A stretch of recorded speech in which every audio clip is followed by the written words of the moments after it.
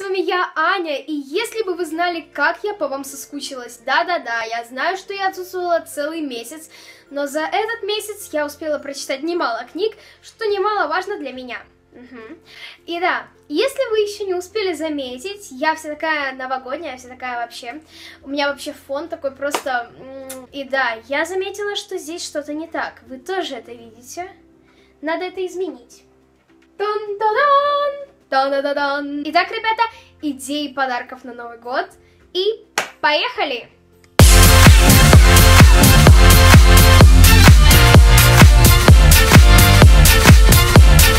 Еще месяц назад я уже начала составлять список идей подарков на Новый год, и они у меня хранятся в моем любимом ежедневнике. И первая идея подарка на Новый год чтобы обрадовать своих близких и наполнить дом теплом, уютом и хорошим запахом, не только запахом елки и мандаринов, но и запахом ароматизированных свечей. Вторая идея – подушки с именем или плед. Если вы хотите обрадовать свою подружку, вы можете подарить им именную подушку или теплый плед, которым ваша подруга сможет согреваться в холодный зимний вечер. Третья идея – новогодний чехол на телефон, ну или на планшет, ну или на ноутбук. Вы можете подарить новогодний чехол, я думаю, что это подарок был бы очень крутой, потому что для меня, честно, новогодние чехлы это очень большая ценность. Я не хочу раскошеливаться на эти чехлы для себя, а для друзей я бы подарила, потому что я считаю, что для себя купить новогодний чехол на телефон это немножечко странно. Это сугубо мое мнение. Следующая четвертая идея — это подарки, сделанные своими руками. Это, наверное, не оригинальная идея, ну и как, в принципе, все предыдущие, но эта идея очень хорошая, и только сейчас я начала понимать, почему. Потому что вы вкладываете свою любовь, когда делаете эти подарки, и я считаю, что эти подарки просто идеально подойдут не только для родственников, но и для друзей. Я считаю, что если у вас подруга или друг очень любит сидеть в телефоне, то сенсорные перчатки как раз таки для него. Например, мне бы очень подошел этот подарок, так что, да, кому-то там на заметочку. Я считаю, что сенсорные перчатки это просто perfect идея, идея подарка.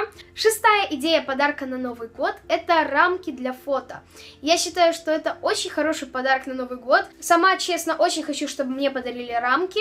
И знаете, чтобы там было не одна рамка, а вот несколько рамок просто в одной соединены, э, в одной композиции, можно так сказать. Я очень хочу повесить их на эту стену, и вообще хочу эту стену сделать полностью все в рамках, потому что она у меня пустая. Итак, седьмая идея подарка на Новый год — это волкошапка, но я не знаю, продается ли она у нас в Украине или нет. А, восьмая идея подарка на Новый год — это баночка с предсказаниями. В нее вы можете положить много сладостей на маленьких на маленьких листиках, написать там предсказание, закрутить листик и кинуть тоже в эту баночку. Это выглядит довольно интересно, красиво.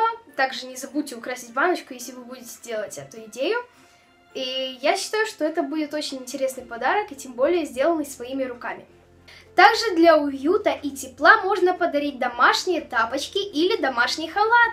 Я считаю, что это очень классный подарок в зимний вечер одеть халатик с тапочками, все просто перфект, ты такой вообще модный весь, тепленько тебе, все супер. Например, в прошлом году мне подарили халат, и я безумно была рада этому подарку. Советую вам присмотреть эту идею.